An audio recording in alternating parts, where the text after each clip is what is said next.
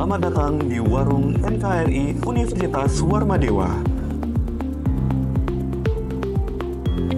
Warung NKRI merupakan akronim dari Wadah, Akur, Rukun, Usaha, Nurani, Geloraan Negara Kesatuan Republik Indonesia yang merupakan gambaran kesederhanaan serta wadah berkumpul dan berdialog tentang nilai kebangsaan dan nasionalisme.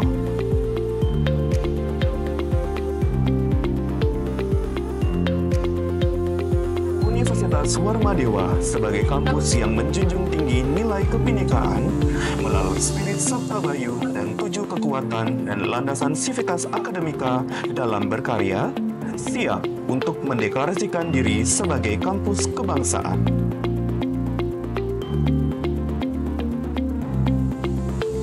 Keberadaan warung NKRI ini diharapkan dapat memberikan manfaat kepada sivitas akademika, membangkitkan semangat dan memperteguh nilai-nilai kebangsaan, menjadi pusat penyebaran informasi, memberikan fasilitas dalam bentuk edukasi, menjalin komunikasi dan koordinasi, sebagai sarana sosialisasi dan dialog lintas akademisi dan budaya, sebagai sarana komunikasi antara pemerintah dan masyarakat, memperkuat ketahanan,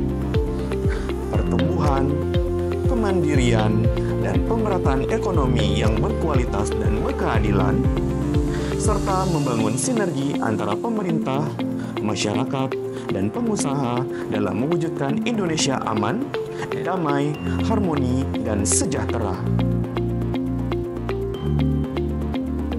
Saya Profesor Dr. Insinyur IGD Suranaya Pandit MP, Rektor Universitas Warmadewa bersama seluruh sivitas akademika Universitas Warmadewa berkomitmen penuh dalam mendukung toleransi, kebinekaan, dan rasa nasionalisme berbangsa dan bernegara.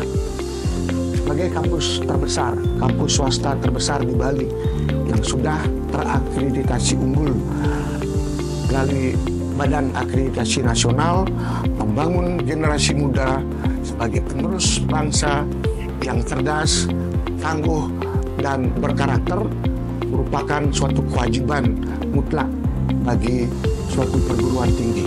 Dalam upaya menciptakan sumber daya manusia yang unggul, Universitas Warmadewa menghadirkan program-program pendidikan yang tidak hanya mengedepankan aspek akademik, tetapi juga membentuk karakter dan kepribadian mahasiswa yang berbasis pada nilai-nilai kebangsaan, pluralisme, dan semangat kebersamaan yang salah satunya melalui warung NKRI digital ini. Mari bersama-sama ciptakan kampus yang berkebinekaan, berwawasan kebangsaan, harmonis, dan berkarakter untuk menuju Indonesia Emas tahun 2045.